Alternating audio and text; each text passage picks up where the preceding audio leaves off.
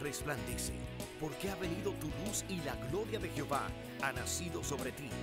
Porque aquí que tinieblas cubrirán la tierra y oscuridad las naciones, mas sobre ti amanecerá Jehová y sobre ti será vista su gloria.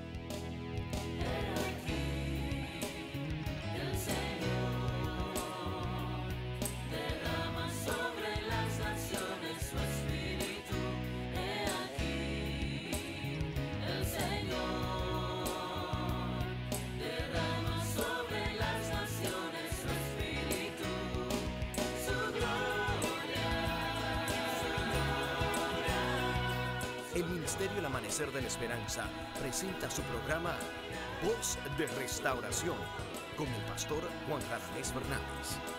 Escucha atentamente la palabra que proviene del mismo corazón del Padre para consolar tu vida. A continuación, el pastor Juan Radamés Fernández.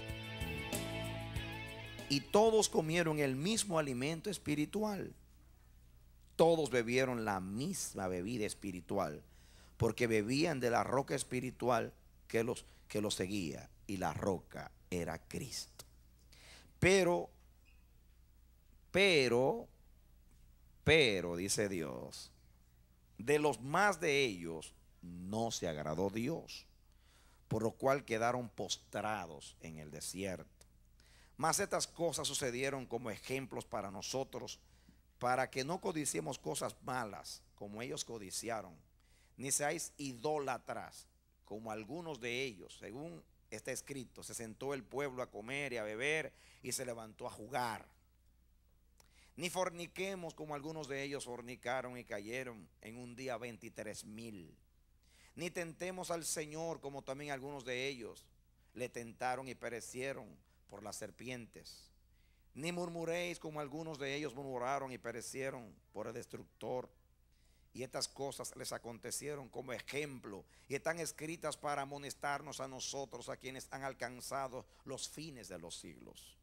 Así que el que piense estar firme, mire, no caiga.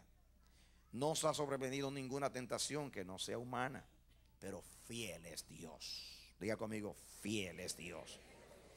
Que no os dejará ser tentados más allá de lo que podéis resistir, sino que dará también juntamente con la tentación la salida para que podáis soportar. Que Dios nos bendiga hoy a través de su palabra. Aquí hay un pasaje muy importante, mis hermanos. Yo quiero que prestemos atención a lo que Dios nos quiere decir. El apóstol aquí usa el ejemplo de Israel en el desierto para enseñar a la iglesia, a la iglesia que estaba en Corinto, y no solamente a la iglesia de Corinto, sino a nosotros que vivimos en estos días. Y la iglesia de todos los siglos fue amonestada, porque el apóstol dice que lo que antes fue escrito para nuestra enseñanza fue escrito. Y gloria a Dios porque por la experiencia de Israel.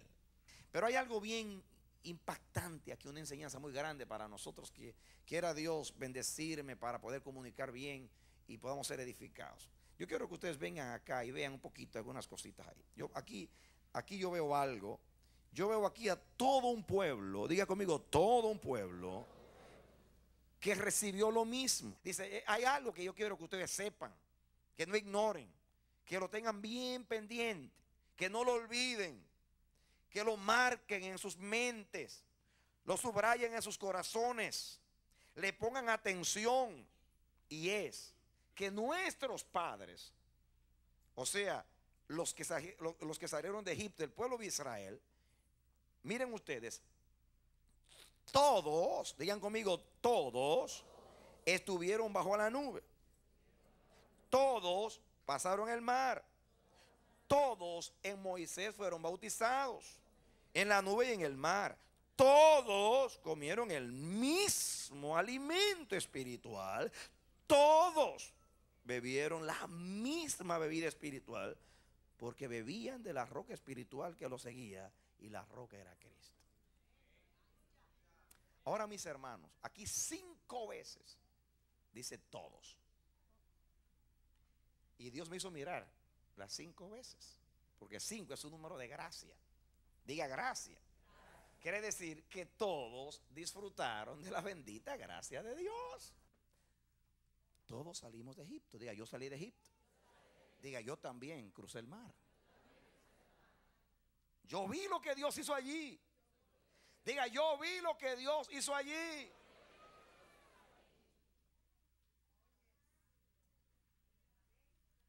Diga, yo también crucé el mar.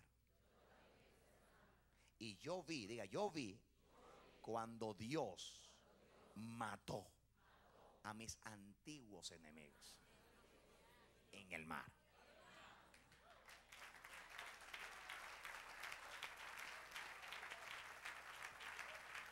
Amén. Porque entonces les tiene miedo a los enemigos del mundo. Egipto es el mundo y Faraón es el diablo. Si usted le tiene miedo al faraón, significa que parece que usted no estuvo allí cuando Dios humilló al faraón. Si usted le tiene mie- miedo a los enemigos del mundo, todavía, está temiendo o está enredado con los enemigos del mundo, entonces parece que no cruzó el mar. Pero los enemigos míos, los, de allá, los, los del mundo, los de Egipto, Dios los mató en el mar. Ya no existen. Mató el caballo y al jinete en el mar. Amén. La palabra de Dios dice que antes éramos esclavos del pecado de Egipto y entregamos nuestros miembros. Éramos esclavos. En Egipto que éramos esclavos. Romanos 6, éramos esclavos del pecado y entregábamos nuestros miembros para servir la injusticia para que el faraón hiciese ciudades de almacenamiento y pirámides y edificios. Pero ahora servimos al Dios vivo y verdadero. En el mar, Dios enterró mi vida pasada. Dígale al lado, en el mar, Dios entregó mi vida pasada. Cuando usted ve a un hermano todavía viviendo la vida de Egipto, dígale, hey, ¿y tú no estuviste con nosotros allá en, en el mar? ¿Qué le pasó a usted? ¿Te tardó para aprender o se le olvidó que usted estuvo allá?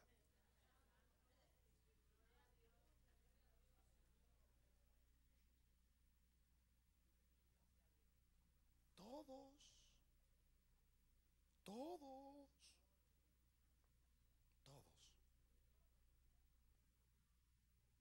¿Quieren poner algo en su Biblia ahí? Y venir conmigo. Ahí, ahí, ahí. Pongan algo a la Biblia ahí, ahí, ahí. Vengan conmigo a, a Efesios capítulo 4. ¿Ya lo tiene? Dice versículo 7. 4, 7. Búsquelo porque es importante. Efesios 4, 7. Pero a cada uno, eh, diga, eh, repítalo conmigo. eh. A cada uno de nosotros fue dada la gracia conforme a la medida del don de Cristo. Amén. Y aquí la palabra medida es la palabra metrón en griego. ¿Sabe qué es un metro? La misma medida. Un metro es un instrumento con el cual se mide. Usted recibió la misma medida de gracia que yo recibí. ¿Y por qué se queda tan chiquito?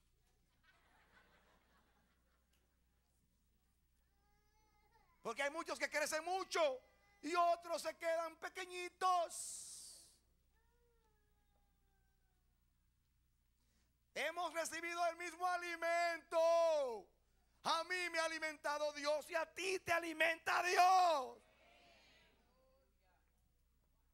Estás recibiendo la misma palabra, los mismos predicadores, los mismos maestros, las mismas funciones, la misma dieta.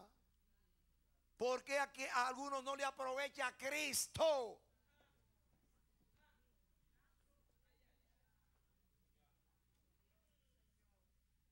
La misma medida. ¿Saben ustedes? Dice, a- cada uno de nosotros. Y lo mismo, ¿qué diferencia hay entre cada uno de nosotros y todos? Pregunta, ¿qué diferencia hay entre cada uno de nosotros y todos? No me pueden contestar esa pregunta tan sencilla. Ninguna. Todos. Todos hemos recibido la gracia por el metron de Cristo. El mismo maná, el mismo evangelio, la misma palabra, el mismo espíritu. Todo igual.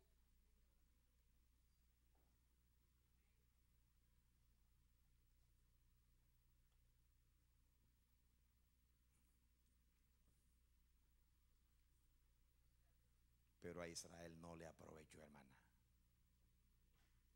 la mayoría. A la mayoría no. No, no le aprovechó el maná. Lo comieron con murmuración. Lo comieron con mente, con una mente de esclavos. Lo comieron pensando en Egipto. Prefiriendo a Egipto.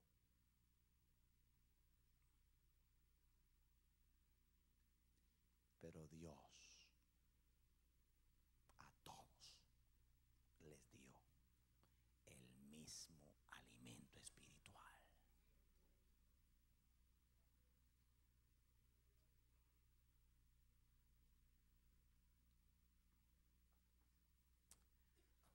Jesús dijo, yo soy el pan vivo que he descendido del cielo. Vuestros padres comieron el maná en el desierto y se murieron. El que me come a mí no morirá eternamente. Yo soy el pan vivo. La palabra que yo les hablo es espíritu y es vida. ¿Cuántos hemos comido? Todos hemos comido. Pero cuando usted, usted tiene, hay una actitud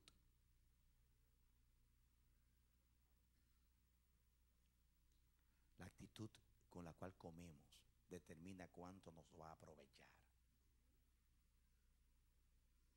Por eso es que los padres, cuando dicen, esta es la comida, aunque dicen, no, no, mami, no, no me gusta, no me gusta, pero te alimenta. Yo, no, no, no, no. Te alimenta, hijo. Dame hamburger, dame papas fritas, llévame a McDonald's. Hijo, no te conviene ese alimento. Es que no me gusta eso, espinaca muy malo. Dásela a Popeye, no quiero eso.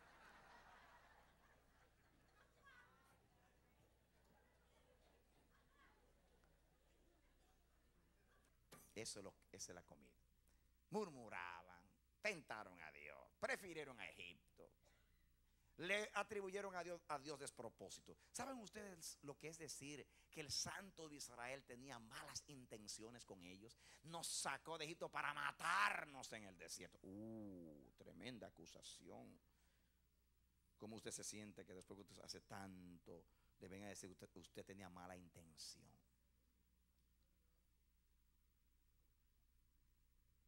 Todos. Sin embargo, hermana caía todos los días. Solamente una vez se enojó Dios. Y no danos carne. Este maná tiene hastiadas nuestras almas. ¿Cuántos saben que Dios escucha todas las oraciones? Una vez dijeron, ojalá, ojalá muriésemos en el desierto. Y Dios dijo, contesté la oración. Ninguno que salió, salió de Egipto, con excepción de Caleb y Josué, todos morirán. Y después dijeron, Señor, perdónanos. No, ya yo escuché la oración. Te dieron, ojalá que todos muriésemos en el desierto. Se murieron todos. Dios escucha. Tenga cuidado como usted ora a veces cuando le da, cuando le da coraje le da. Santo amigo dice cuando le da pique. Oh, como comíamos carne en Egipto. Este maná tiene hastiada nuestras almas. Y Dios le dio carne, le contestó la oración. Pero dice la palabra que apenas se lo comieron, comenzaron a sufrir del estómago, enfermedades del estómago. Me imagino el tremendo problema de Moisés allá. Y no había peptobismol ni esas cosas. Ni ninguna de esas cosas, esos remedios caseros que tenemos ahora, limón con eh. no había limón ni sal para hacer un- eh, terrible en el desierto.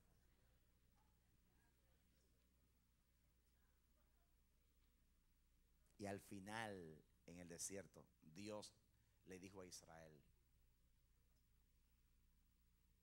dime una cosa, en, e- estos 40 años, ¿cuán- ¿cuándo te debilitaste físicamente? Siguiendo mi dieta, ¿cuándo te debilitaste? Yo cuidé hasta de la suela de tus zapatos. Era- mm, con, un par de, con un par de zapatos cruzaron el desierto 40 años. Yo nunca he visto un zapato que dura 40 años. Por bueno que sea.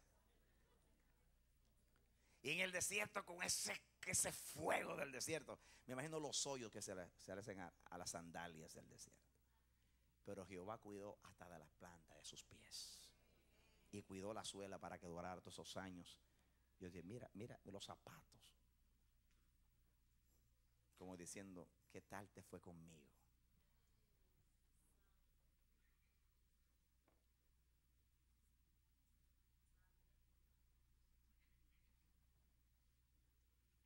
Pero a Israel no le aprovechó. Véngase a Gálatas conmigo. Mire lo que dice. Estad pues firmes, versículo 1, en la libertad con que Cristo os hizo libres y no estéis otra vez sujetos al yugo de esclavitud. He aquí yo, Pablo, os digo que si os circuncidáis, de nada os aprovechará Cristo. Este texto me dice a mí que Cristo solamente aprovecha solo. Cristo no se puede comer con circuncisión, con religión, con murmuración, con deseando a Egipto, con Cristo aprovecha solo, solo Cristo. Solo maná. Amén. La actitud con la cual recibimos al Señor determina cuánto nos va a aprovechar el Señor. La medida a medida o proporcionalmente a como nosotros o la actitud que nosotros tomamos a recibir la gracia de Dios y a lo cual somos expuestos a través de la gracia va a determinar cuánto nos va a aprovechar la gracia.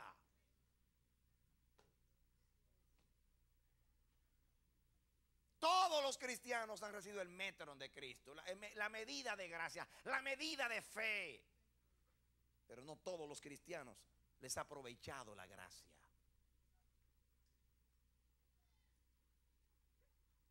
Entonces es importante la actitud. ¿Cómo recibimos el don de Dios? ¿Qué actitud hay en nosotros cuando recibimos el don de Dios? Es muy importante.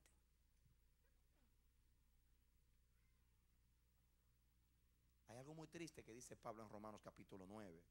Dice que los, dice, hablando, dice que los, los judíos, escuchen esto, Romanos 9 dice Pablo, que los judíos tenían ocho cosas. ¿Tiene ventaja, dice Pablo, el judío con relación al gentil? Claro que sí. A ellos se les fue encomendado las escrituras. Dice que tienen la escritura, tienen la ley, tienen el pacto, tienen la gloria, tienen el culto, tienen las promesas, tienen a los padres, tienen a los patriarcas, de los cuales nació Jesús, nació de ellos Jesús. Inclusive Jesús nació de ellos. Y yo conté ocho cosas. Lo tenían todo para triunfar. Sin embargo, dice Pablo que tropezaron en la roca. La roca era para levantarlos y tropezaron en la roca. ¿Por qué? Porque dice que buscaban la justicia por sus obras y no la buscaron por la fe. ¿Cómo alguien teniéndolo todo no tiene nada? Y los gentiles que no tenían nada, lo tienen todo, porque Cristo es el todo. Amén. ¿Saben por qué? Porque cuando a los gentiles se le llevó la palabra del Evangelio, cuando Dios le dijo a Cornelio, manda a buscar a un hombre que está en, en Jope, en casa de en un tal Simón curtidor, este hombre que no era un judío, este hombre que no había recibido tantas instrucciones, pero temía a Dios. Mandó a los soldados a buscar a Pedro. Una sola vez habló Dios a Cornelio. Una sola visión tuvo Cornelio. Y obedeció a Dios. Y su casa se convirtió en la puerta de salvación para las naciones. Una sola vez le habló. Sin embargo, una sola vez, y a los judíos le habló. Dice, Dios habiendo hablado muchas veces y de muchas maneras a nuestros padres por los profetas. ¿Cuántas veces habló Dios? A gente que Dios solamente le tiene que hablar una vez, son bienaventurados. Pero hay quienes le habla por la mañana, le habla al mediodía, le habla en la tarde, le habla de madrugada y háblame más y más. ¿Y para qué quieres que Dios te hable tanto? Para no hacer nada.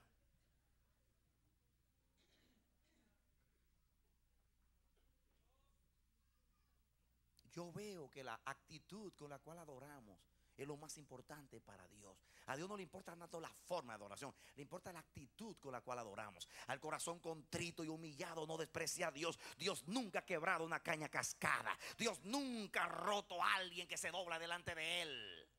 Todo lo contrario, el que se dobla lo endereza.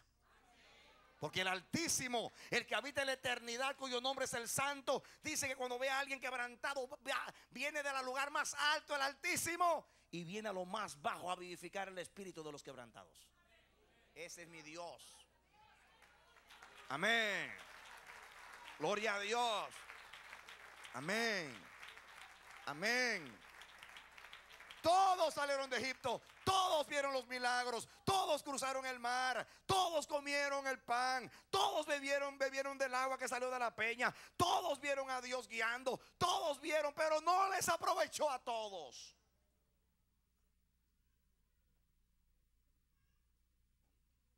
Y a mí eso me ministra. ¿Qué tú has hecho con todo eso que Dios te ha dado? ¿Qué vas a hacer con el, con el don de gracia que Dios te ha dado?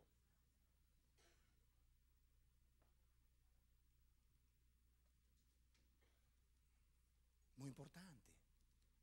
La actitud con la cual recibimos lo de Dios. Por eso es necesario. Dice que, que si, nosotros, si nosotros andamos en el Espíritu, vamos a agradar a Dios. Porque que anda en el Espíritu puede agradar a Dios. Pero que anda en la carne no podrá ni puede agradar a Dios. Es muy importante la actitud, mis hermanos. Tú puedes tener años sentándote en este asiento para hablar ahora de aquí, de nosotros. Puedes sentarte ahí por años, escuchando los mismos sermones, las mismas profecías, las mismas canciones. Y pasarte así, por encima. Ni llega a ti. Pero ese no es el plan de Dios. El Dios, si Dios te, te llamó y te dio la gracia, es para que te aproveche Cristo.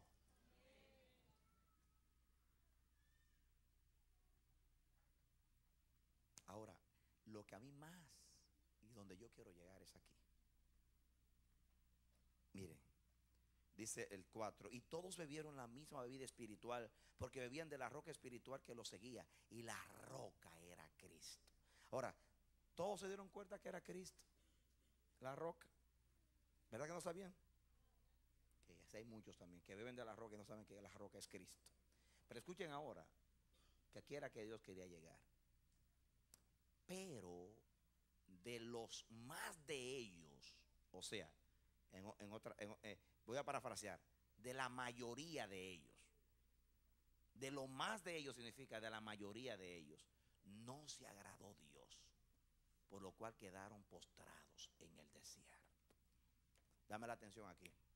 Aunque yo te he aplicado el sermón en cuanto a la asimilación, en cuanto al, aprovechamiento, pero el mensaje aquí es agradar a Dios. Diga conmigo, agradar a Dios. Todos salieron de Egipto, todos cruzaron el mar, todos fueron bautizados en Mo- en Moisés, en la nube y en el mar. Todos comieron eh, el, mismo, el maná, la misma alimentación, el pan espiritual. Todos bebieron de la roca, pero no de todos se agradó el Señor.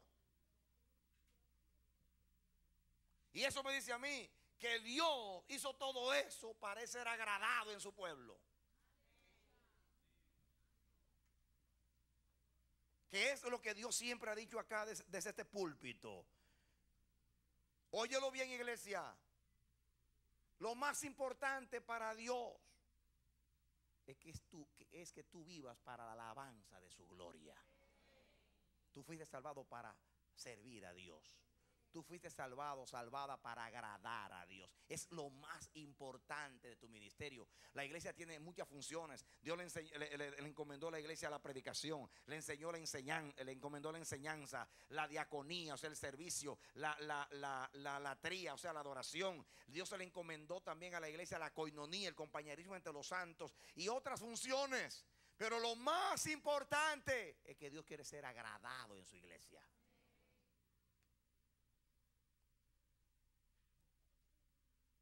Tantas cosas hizo Dios y no fue ni siquiera entendido, mucho menos agradado. Dios quiere ser agradado en medio de su pueblo. En otras palabras, todo eso fue en vano. Diga en vano. 40 años haciendo milagros y señales y prodigios y maravillas, como si no hubiera hecho nada. ¿Por qué? Porque no tenían corazón. Diga, no tenían corazón.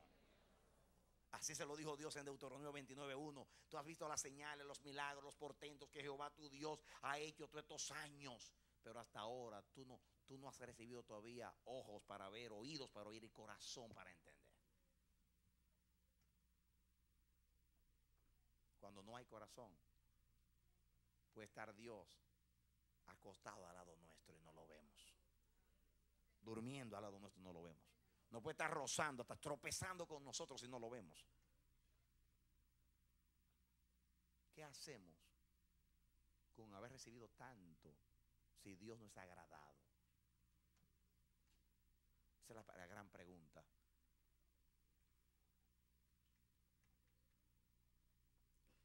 A mí me enseña esto. A mí me enseña esto. Que lo más importante es agradar a Dios. A mí, a mí- yo, yo entiendo por este mensaje, yo entiendo, yo entiendo que de la, la- la- eh, eh, en resumen, la manera como Dios se agra- la manera como Dios aprovecho todo lo que Dios me da es agradándole. Eso es lo que yo aprendo aquí, este mensaje. Hoy en la iglesia hay muchos milagros, muchas maravillas, muchas señales.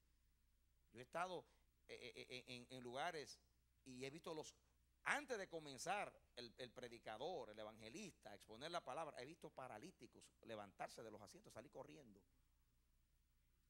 Y todavía el evangelista ni siquiera ha entrado para que no digan que fue el evangelista. Es Dios respaldando lo que se está haciendo. O sea, Dios con Dios eh, eh, eh, mostrando misericordia, quiero decir.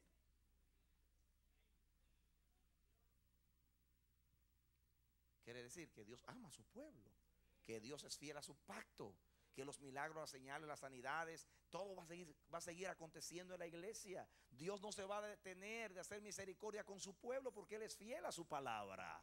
Pero mis hermanos, Dios espera que si Él ha dado misericordia, pues se le devuelva con agrado. Si Dios tiene la gentileza de manifestarse en su pueblo y ser fiel a pesar de nuestra infidelidad, entonces debiéramos de pagar con amor el amor que nos da. Y lo único que Dios pide de ti es que le agrades. ¿Por qué dice Pablo? ¿Por qué dice el apóstol aquí? Todos estos, todos aquellos, todos, pero no de todos se agradó Dios. Eso me, a mí me está enseñando algo a mí.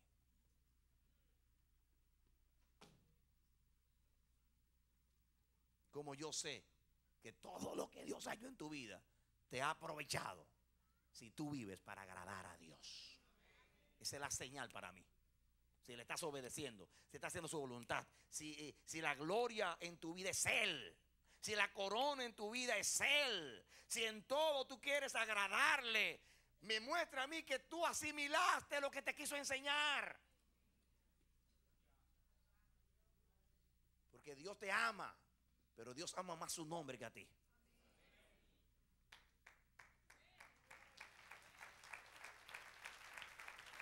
Amén, amén, amén, amén.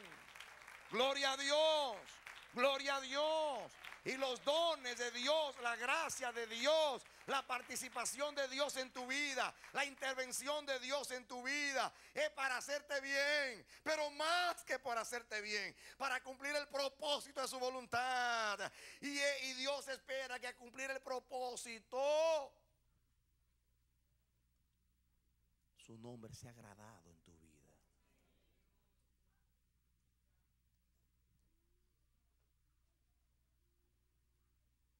¿Para qué tantos milagros, señales, maravillas, prodigios, protección, guianza y todo lo que nos dio? Si al final nuestras vidas no cumplen el ideal de nuestra elección, que es vivir para la alabanza de su gloria. ¿Para qué? Estoy engordado. Estoy como oveja engordada, llena de lana y de leche. Estoy en prosperidad, en bendición. Dios me ha hecho bendición, estoy en bendición. Con la, barrigota. Estoy hablando espiritualmente, por favor. Llenos de. Oh, qué unción yo tengo. Pero la pregunta es: Miren, Dios puede decir hoy también en la iglesia. Todos han visto al Espíritu Santo. Todos han visto las señales. Todos han visto lo que estoy haciendo en estos días. Todos. Pero no de todos se agrada a Dios. La iglesia es el instrumento de Dios para dar a conocer a las naciones su nombre. Y el nombre de Dios no se, no se da a conocer con una doctrina, con una enseñanza, una predicación. Así alumbre vuestra luz delante de los hombres, para que los hombres vean vuestras obras y viendo vuestras, vuestras obras glorifican al Padre que está en los cielos. Pablo decía que como quiera quería agradarlo. Vivo para agradarlo. No solamente para beneficiarme de lo que me de lo que él me da. Si me lo dio, está bien, me lo dio, me honró, poniéndome en el ministerio, estoy disfrutando de esta bendita gracia. Tengo la seguridad en Cristo Jesús. Tengo seguridad de que el diablo ha sido vencido. Tengo seguridad de que he sido trasladado del reino de las tinieblas a la luz. Tengo seguridad de que Cristo me salvó y que nadie puede arrebatarme esa corona de vida. Tengo la seguridad de que soy heredero con Él. Tengo la seguridad que he sido bendecido en Él con toda bendición espiritual. Tengo la seguridad de que comenzó la obra en mí la va a terminar hasta el día de Jesucristo. Tengo seguridad por lo que Dios ha dicho. Tengo seguridad por lo que Dios ha hecho en Cristo Jesús para mí. Tengo seguridad de que, el que traspasó los cielos y se sentó a la diestra del Padre va a hacer una intercesión tan perfecta por mí que seré cubierto mientras viva en esta vida. Tengo seguridad de que tengo las arras de la herencia para la posesión adquirida, para la alabanza de la gloria de Dios. Tengo el Espíritu Santo. Tengo la palabra profética más permanente a la cual hago bien con estar atento como una antorcha que alumbra en lugar oscuro hasta que el día esclarezca y el lucero de la mañana salga en nuestros corazones. Oh, tengo dones, tengo ministerios, tengo funciones. Tengo la promesa, yo estaré contigo todos los días hasta el fin del mundo. Todos tenemos todo eso y mucho más que no he mencionado. Cosa que ojo no vio, ni oído yo, ni ha llegado a la imaginación de los hombres. Son las cosas que Dios nos ha dado por el Espíritu. Pero ¿para qué todas esas cosas? Si Dios no es agradado. Ah, solamente el evangelio que se predica hoy es que Dios te ha bendecido porque Dios te ama y yo no lo estoy contradiciendo. Pero déjame decir una cosa, que Dios todo lo que ha hecho lo hizo no solamente porque Dios te ama, sino porque Dios ama su nombre y su propósito. La única, la gracia se manifestó, la gracia se manifestó para incluirte en la bendición, no porque tú eres la bendición, la bendición es Dios.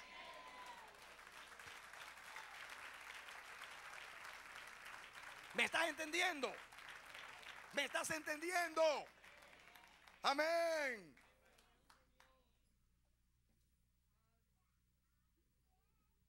Propósito más importante que tú y más importante que yo.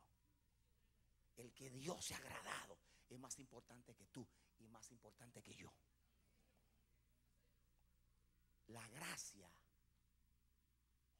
el favor está no en que tú eres más importante que el propósito, sino que Él te hizo parte del propósito. Y si te hizo parte del propósito, la gratitud que debe emanar de ti debe decir, el que me amó y se entregó por mí, a él le ofrendo mi vida para que sea una ofrenda para la alabanza de su gloria. Amén. Gloria a Dios. Amén. Amén. Yo quiero decirte, iglesia, que en el presente, ahora, aquí, en las naciones, en el día, que toda alma comparezca delante del juicio de Dios, el resultado se va a medir, no por las cantidades, no por el éxito visible. Te voy a traducir.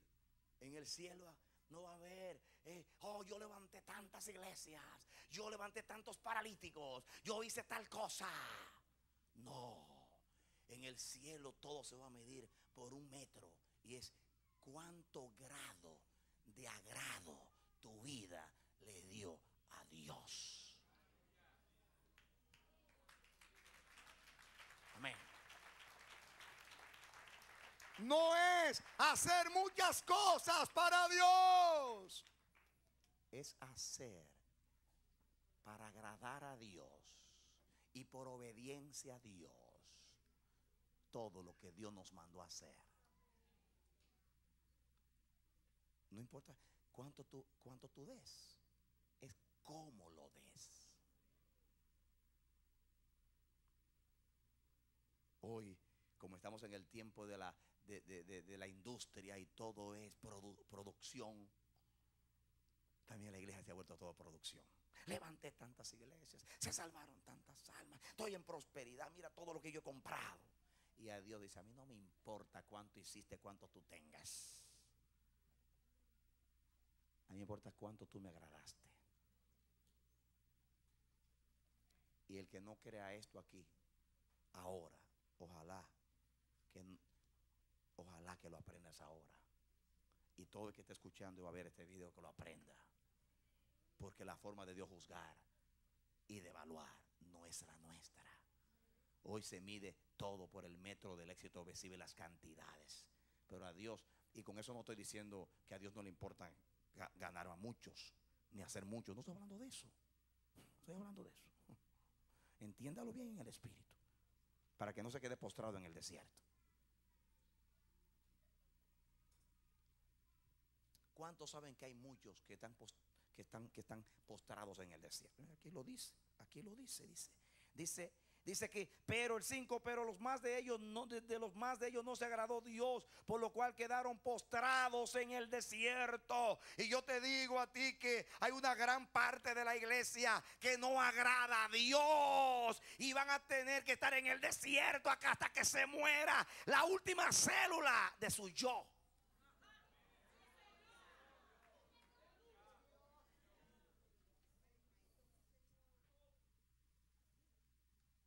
Todo lo que salió de Egipto murió en el desierto. La carne tiene que morir. Por eso Dios usa el desierto para hacer y deshacer con nosotros.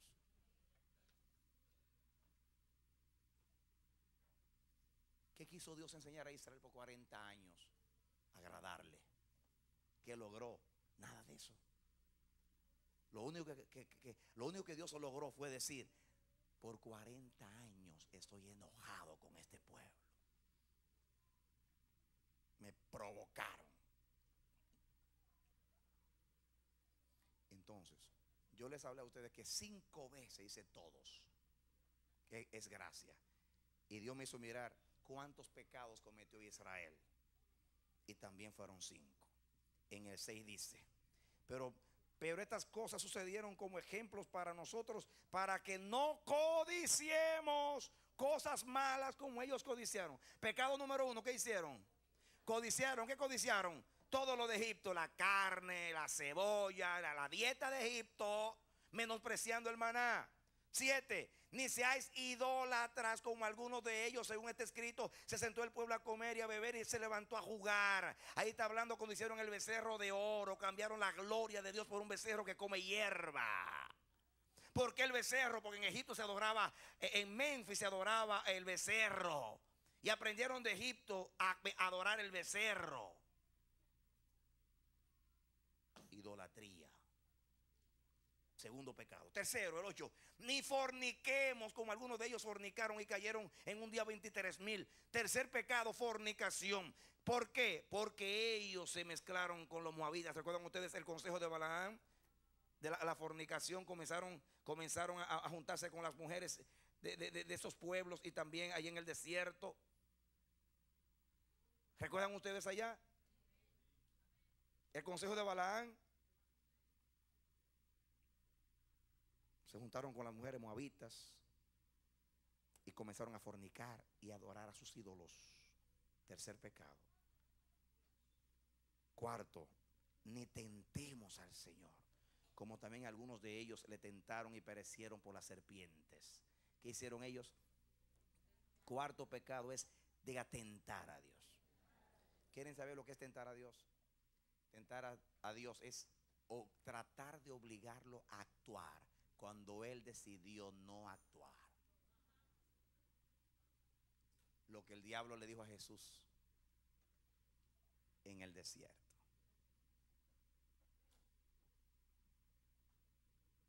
Haz esto. Si tú eres el Hijo de Dios, haz esto. No tentarás al Señor Dios. No me mandó a mí hacer eso. No lo voy a obligar a hacer lo que Él no quiere hacer. Si Dios no te quiere sanar, no obligue a Dios a sanarte. Porque Él te enseñó, todos estos años te ha enseñado que la voluntad de Él es lo mejor que puede acontecer en tu vida. Y cuando Pablo decía, quítame el aguijón que no puedo más, bástate mi gracia. La gracia mía debe tener más valor para ti, o sea, mi favor, tener salud o tener liberación. Y con eso no te estoy diciendo que Dios quiere que tú seas un esclavo de un enfermo. Te estoy diciendo que Dios, la voluntad de Dios, va por encima de tu deseo y tu necesidad. Y no tentemos a Dios obligándolo a actuar cuando Él no quiere actuar. Porque Israel lo obligó. ¡Danos carne! Te voy a dar carne, te damos carne. Y se murieron. ¿Cuántos saben que lo que te conviene es a la voluntad de Dios? Es el cuarto pecado. El quinto, ni murmuréis como algunos de ellos murmuraron y perecieron por el destructor. Estas cosas les acontecieron como ejemplo y están escritas para amonestarnos a nosotros. ¿Para qué está escrito esto? A quienes han alcanzado los confines de los siglos. Y usted dirá, pero pastor, yo, yo no necesito ese mensaje. Y el 12 dice, así que el que piense estar firme, que mire que no cae.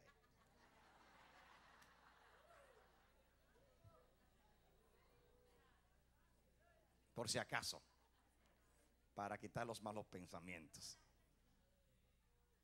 Ahí dice que fue para nuestro ejemplo, para que no nos pase a nosotros lo que le pasó a Israel.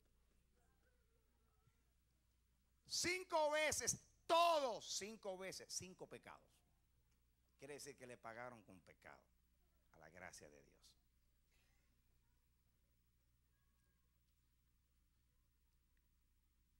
Aquí confirma Dios una vez más lo que nos ha predicado como congregación por estos 15 años o más. Ojalá nunca nos desviemos en esta congregación de que nuestro, nuestro empeño, nuestro esfuerzo, nuestro recurso, concentrado en agradar a Dios. Nada más. Yo quiero decirte que desde que el Señor me salvó, yo tenía 16 años, han pasado 31 creo. Ya sabe mi edad.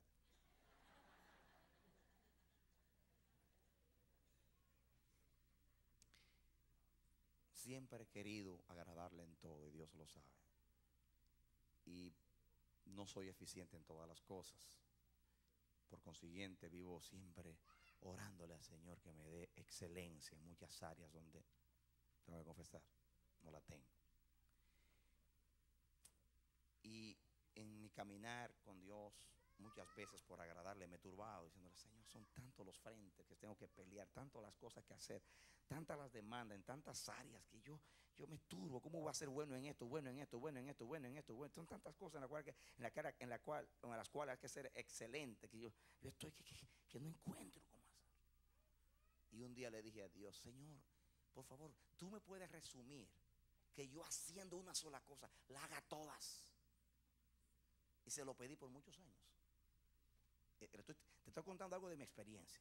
Por muchos años yo le pedí a Dios, resúmeme que haciendo una sola cosa, yo a, la vez esté haciendo todas. Y después de muchos años me dijo, vive para agradarme. Y ya lo hiciste todo. Y me dijo, ¿sabes cómo evalué el ministerio de mi hijo Jesús? Yo no dije, hizo muchos milagros. Resucitó tantos muertos. Nadie habló como él. Nadie, no. ¿Sabe qué dijo? Este es mi hijo amado en quien tengo complacencia. Me dijo, gracias Padre. Ahora sé, no es hacer muchas cosas, es agradarte. Entonces ahora mi motivación es agradarle. La pregunta es en todo, ¿esto agrada a Dios? ¿Ya? Si hiciéramos esa preguntita, todos esos conflictos que tenemos, ¿eh? Tiene un conflicto de cómo te, cómo te vas a vestir, ponte en el espejo y dice, Señor, ¿esto te agrada? Te vas a dar cuenta que fases te vas a resolver muchos de los problemas que tienes. Y Dios te... Y, bueno, pero sinceramente, no como algunos. Yo reprendo, yo. Dios quiere que yo sea feliz. Y todos lo concentran en que yo quiero que yo, Dios, Dios quiere que yo sea feliz. Dios no me quiere ver enfermo, ni me quiere ver feo, ni me quiere ver así, ni me quiere ver así. Y todo es eso. Todo es concentrado en que Dios quiere eso para mí, para mí, para mí, para mí. para mí. Y nunca preguntan, ¿qué quiere Jehová tu Dios de ti? Sino que ames a Jehová, que le temas, que ande en sus caminos. Saca la atención de ti y ponle en Dios y se te van todos los problemas. Y cuando te veas a ti, vete a través de Dios. Mírate a través de Dios y se te van los problemas. ¿Saben ustedes? Cuando yo tengo conflicto, ¿esto lo debo hacer o no lo debo hacer? Solamente hago una pregunta, Señor, ¿qué te agrada? Y, Señor, que no sea como yo quiero, mi deseito no, como tú quieres. ¿Y sabes qué? Se me va el conflicto. Claro, la carne sufre. Porque yo decir que se haga tu voluntad, ya, ya comienza el dolor de la carne. Todos esos problemas que tenemos, todos esos conflictos, es porque no, que, no hay disposición de agradar a Dios.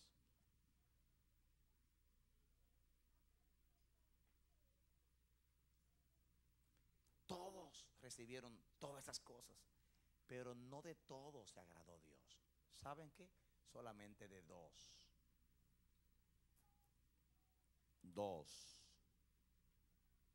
Dos tenían otro espíritu. Y Moisés, naturalmente. Pero dos. De millones, dos. Ay, hermano. Dos. Nada más, dos no murieron pos- postrados en el desierto. Dos. Y José, que pasó el desierto muerto, ese ni lo sintió.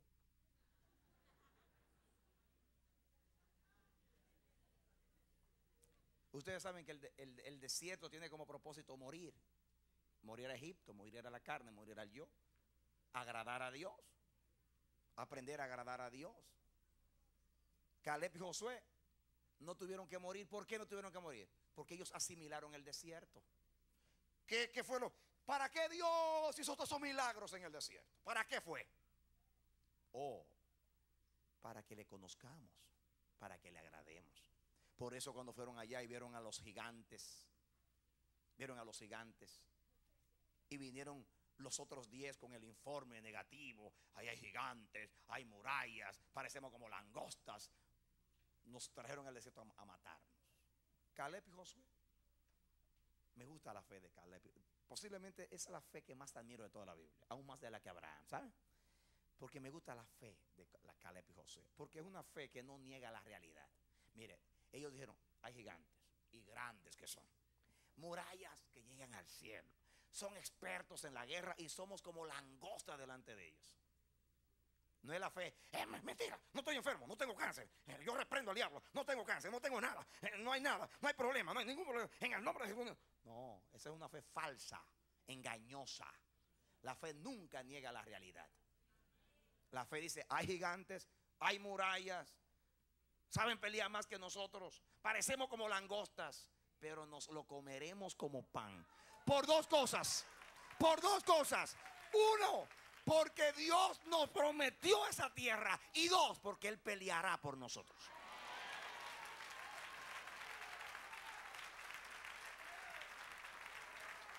Amén. ¿Ustedes creen que esa gente tenía que morir en el desierto? No, la fe agrada a Dios.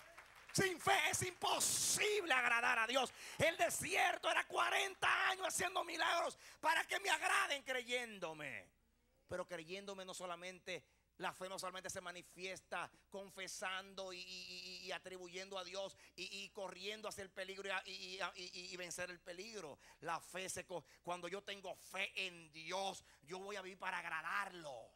Porque yo sé que Él ha estado en mi vida siempre manifestando su gracia y su medida de favor y revelándose a mí. Y eso es para aprovecharme, para que yo aprenda a conocerlo, a amarle, a temerle, a seguirle.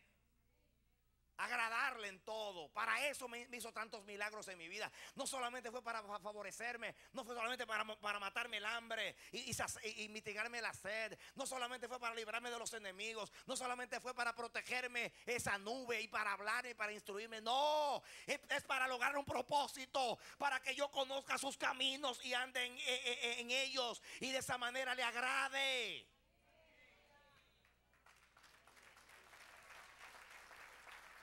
Amén. Amén.